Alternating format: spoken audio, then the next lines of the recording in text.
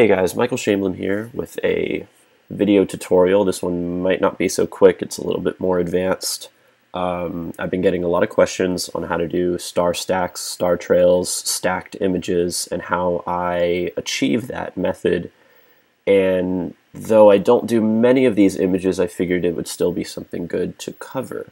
Um, and funny enough, I did star trail last night, and I need to layer this star trail anyways, so I figured why not I'll do a tutorial while I actually work on one of my images. So I've got all my images here in this uh, nice folder. They're all sequenced. Um, what I did was I did a base edit in Lightroom. I exported them all as high quality JPEGs.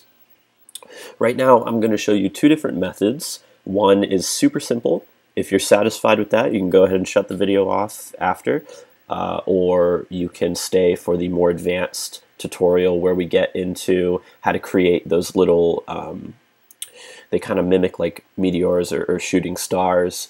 Uh, we're going to do that after we do the simple method. So the program you're going to want is StarStax right down here. It's a really awesome program. Um, you can get it for free and uh, just type in StarStax into Google.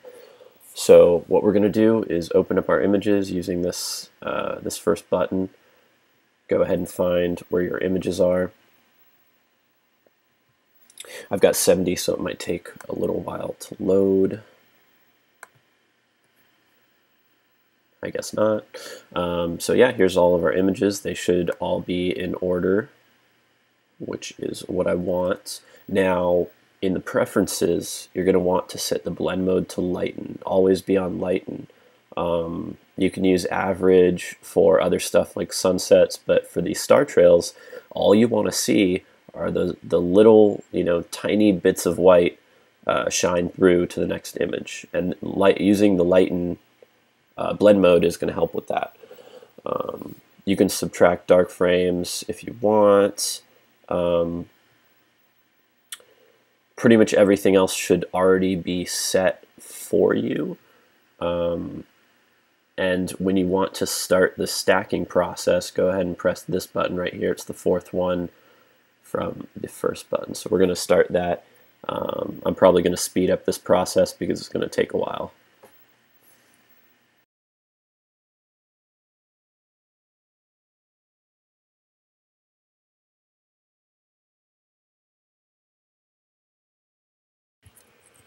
Alrighty guys, so it looks like our star trail is done. Um, it looks pretty good. I, I'm pretty satisfied with this. The only thing that I don't really like are these plane trails down here. I will show you guys how to remove plane trails from your images in the next tutorial. But for now, let's continue back with the star trail image. Um, so you've got this beautiful image. You really like the way it looks. Let's go ahead and save it. It's the third one from the left save as, stacked image, you can name it whatever you want. I guess I'll put it into our star stack folder and call it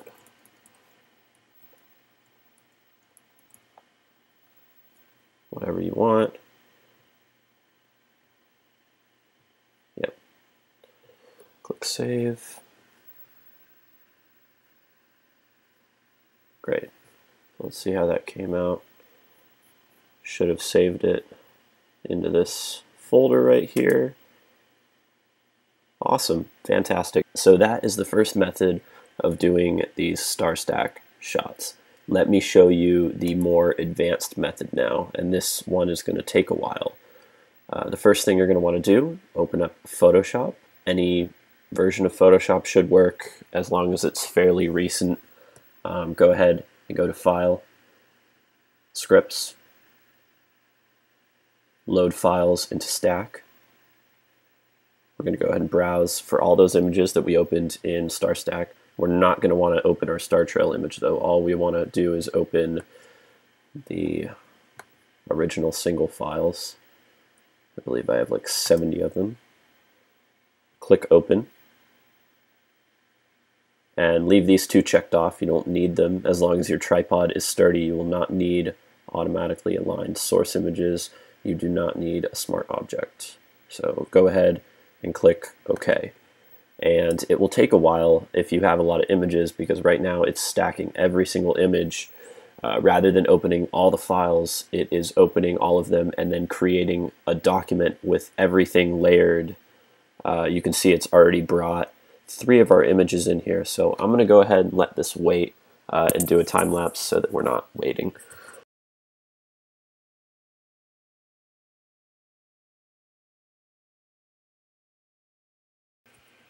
Alrighty, looks like all of our images are done. So, so let's see here. The first thing to consider is what type of star trail do we want to do here. Obviously, we don't want to do a normal star trail like the one we just did before because the one we just did before we can easily do with an automated program like StarStax. So the main reason we're here is to do a really unique star trail. And I think what might be cool is to do kind of like this uh, meteor type star trail. And I'm going to show you guys how to do that right now. So it looks like it layered everything, all of our images, and it put the first image in our sequence up at the top. I'm guessing the last image is going to be at the bottom. So what I want to do is start at the bottom because I want to start with the very last image that I took and I'm going to create kind of this uh, meteor uh, where, where it looks, you know, they're all going to look like shooting stars. Basically, they're going to be very sharp on one side, and then they're going to kind of gradate out. Uh, so uh, we're going to start off with the first image, and what I am going to do is go to Filter.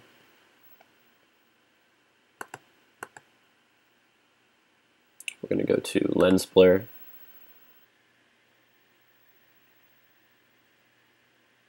Alrighty guys, so now that we have our lens blur open, um, you're going to want to create a bigger radius, maybe to 10, to make some of these stars a lot bigger.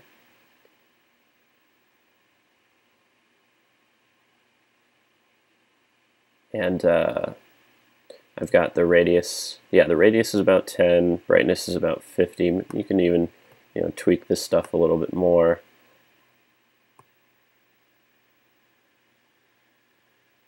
I'm going to go back to 10 with it.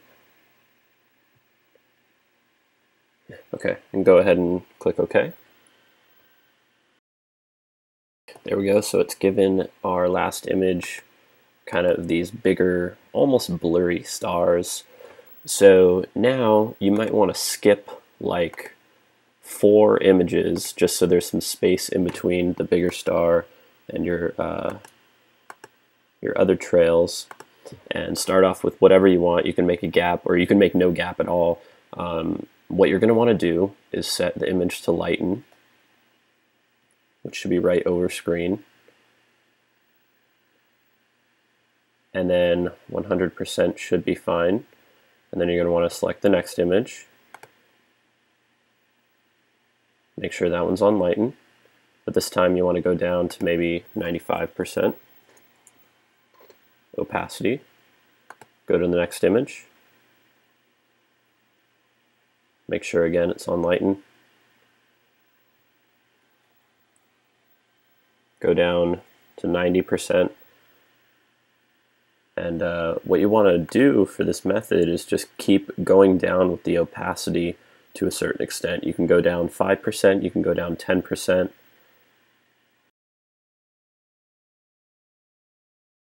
And you keep doing this until you've reached however many images you want or, you know, if it looks good. Um, so I'm going to go ahead and do this because it's going to take a while and then uh, we'll come back to it.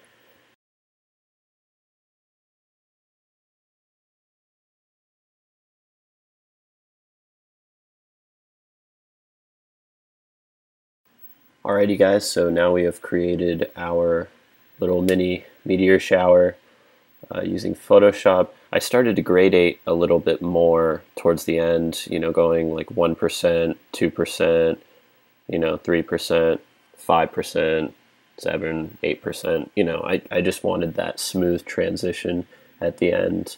But, you know, you can do this with as many or as little images as you want.